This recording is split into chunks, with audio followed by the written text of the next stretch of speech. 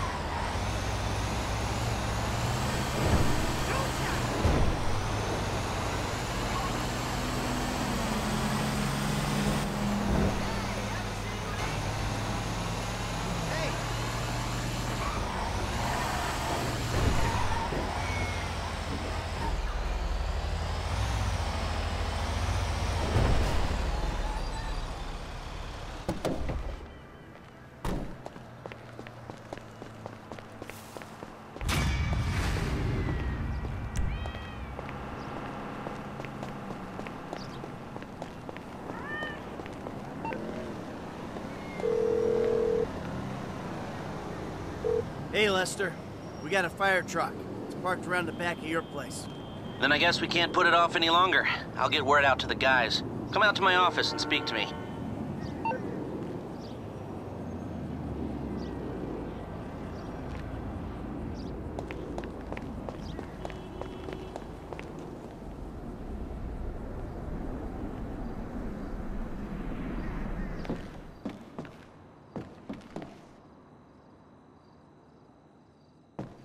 Hey, how you doing? Ah, pretty good, under the circumstances. About to knock off a federal government building. Oh, meanwhile, my psychotic former BFF is trying to figure out a way to kill me. But hey, the meds are kicking in. So life's good. Well, exactly. Franklin got us what we need. Put those on. Then what? Then head in there and uh, rig up a slightly more sophisticated fire trap than we've got here. So, I'm guessing drapes and scented candle aren't gonna do the trick, huh? No, no, no, no. You'll have incendiaries and a remote device. Now, they need to be strategically placed so we can ensure that we still have access to the server and that the structure maintains its integrity. Now, once you get out, trigger the bombs, meet up with Franklin and the crew, and we'll intercept the emergency call, and you all go in as firemen. Oh, Got it? Yeah, I got it. Sounds a little idiotic.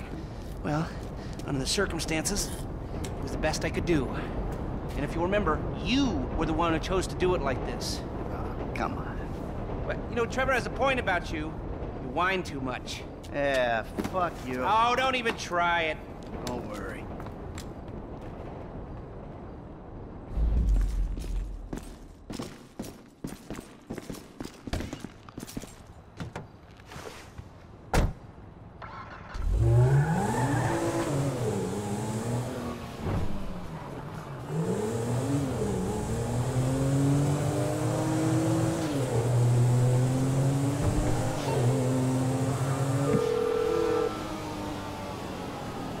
Mike, we doing this?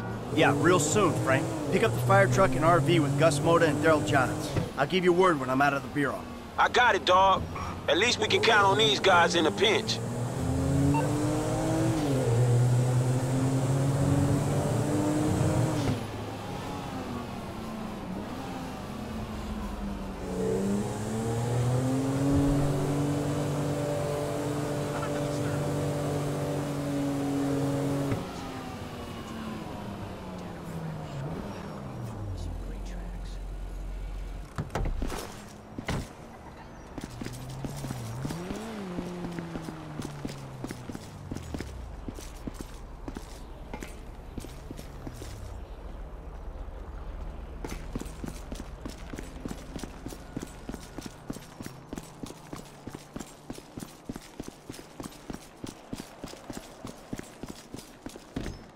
If you're new, just clear your pass with security and you can go up.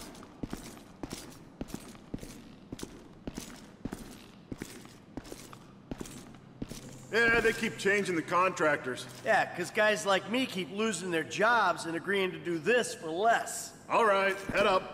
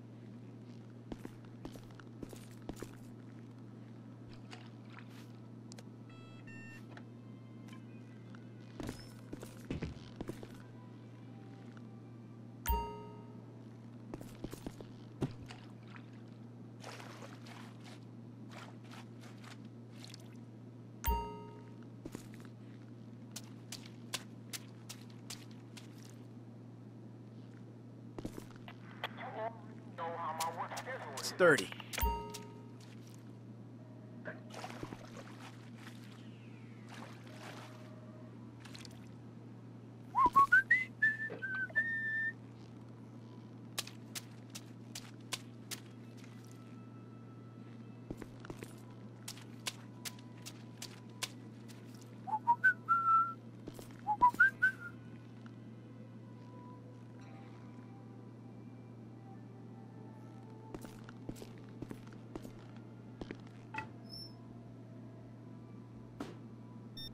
There you go.